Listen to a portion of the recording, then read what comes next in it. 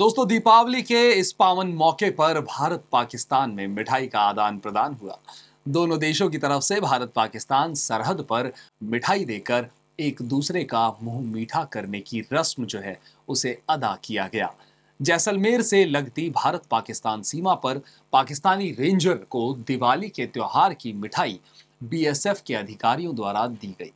Pakistani ranger ने happy Deepavali कहकर त्योहार की बधाइयाँ दी।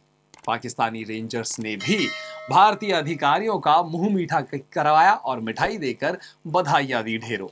गौरतलब है कि सरहद से लगती भारत पाकिस्तान की सीमा पर दोनों देशों की तरफ़ से मिठाई का आदान प्रदान होने के दौरान शांति के झंडे का प्रदर्शन किया गया। इस दौरान ज़ीरो लाइन तक दोनों ही देशों के अधिकारी पहुँचे और पाकिस्तान सेना के रेंजर्स ने भारत के अधिकारियों को हैप्पी दिवाली कहकर बधाई दी।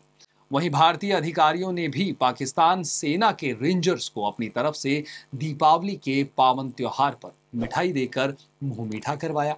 दीपावली के मौके पर मिठाइयों का आदान प्रदान कर सरहद पर शांति का संदेश इस दौरान दिया गया।